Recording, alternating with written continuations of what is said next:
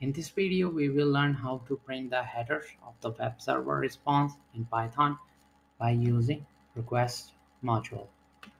First, we are going to create a simple script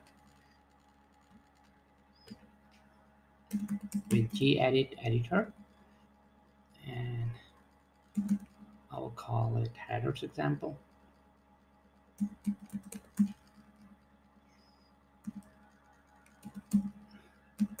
Py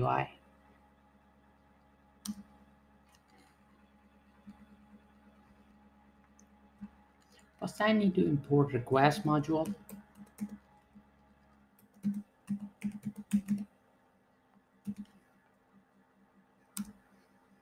And then we can make a request to web server.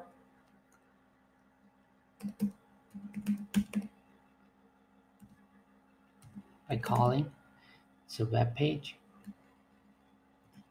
We will use get method of request and pass in the URL of a site. I will use Google.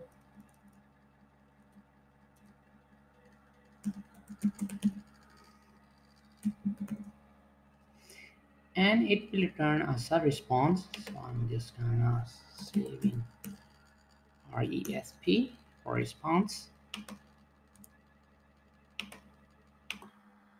we can loop through response headers by calling uh, its method items. I will surround the code for loop inside a try and except block. In try I'm going to use for loop key for key and value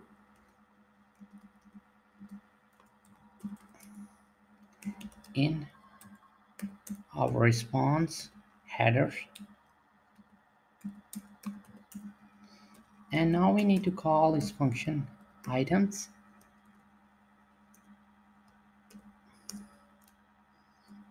And print each key and value. That will be our headers coming from a web server. So it's gonna be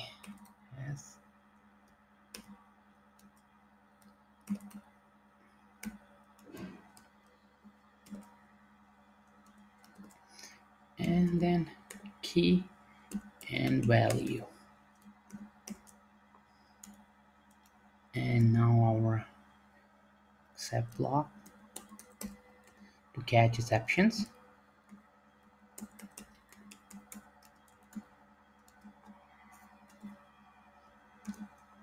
And we can also print there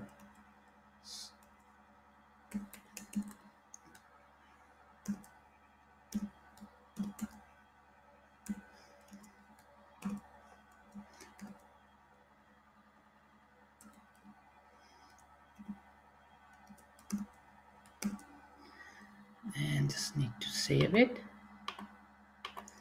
There's a spelling mistake over here. So items. Not here. Over here. Save it. Now I'm going to use Python 3 to run our script and that is headers underscore ex for example and dot py and just hit enter. And you can see it printed all those response keys and values so we got the response back in other words. So in our code what we are doing over here is we are making a get request to a web server or web page. So it go to the web server and we get the response back and we then call response headers items function and we get the key and values back. And over here we are printing those key and values which are server server's response. So to keep on learning please subscribe to our youtube channel.